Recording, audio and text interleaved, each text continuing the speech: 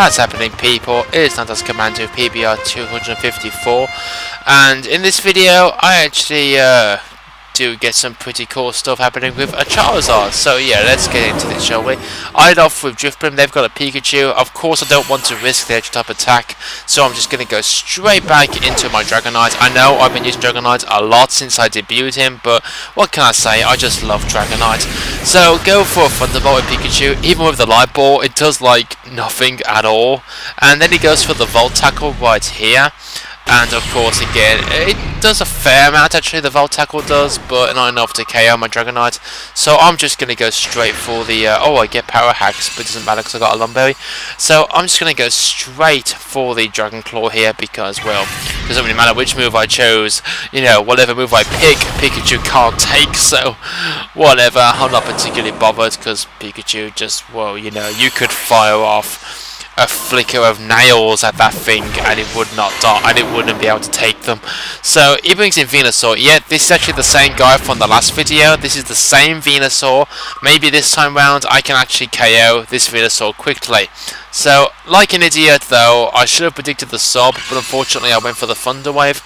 I actually thought he'd go for the Sleep Powder, but, you know, it misses. But it does miss this turn, so that does help me out. So, here's some Deja Vu again. this is just like the last battle, against the same guy, just a different Coliseum.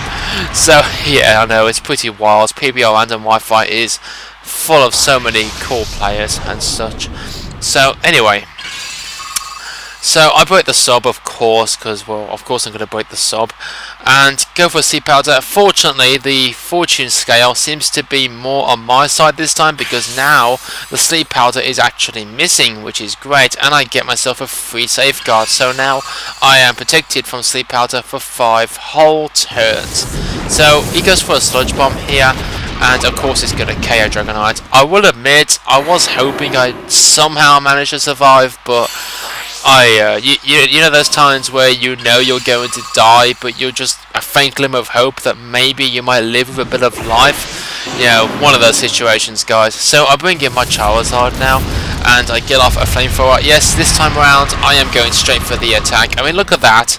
Look how much that did without any boosts. I should have done that in the last video, and the best part is Sludge Bomb doesn't even do that much, so I was an idiot. I was literally an idiot. If I'd have just gone straight for the attack, why, why? See, this is exactly what would have happened, you know.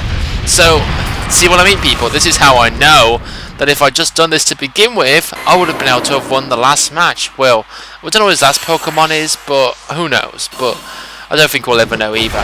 So he brings in his own Charizard now, which is cool.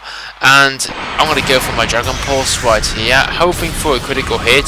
But unfortunately it doesn't do that much damage. And he goes for a Belly Drum, so it's a Bellyzard. And I'm not going to lie, I don't like Bellyzard that much. I think it's just I just don't like it for some reason. It never seems to work the way you want it to work. So I guess some players can use it in a professional way. So you know, I just never really liked it myself. I prefer Dragon Dance set. Dragon Dance set. So he goes for a Fire Punch right here, which is like, oh darn it. This is not good. He's got a plus 6 in attack. I bring in Drifblim now. I'm praying I can just hang on. Alright, with fire with a fire punch. But no, so last time it was a Venusaur, this time it was a Charizard. What can you do? What can you do, people? So anyway, people, thank you very much for watching, and see you all later. Bye-bye.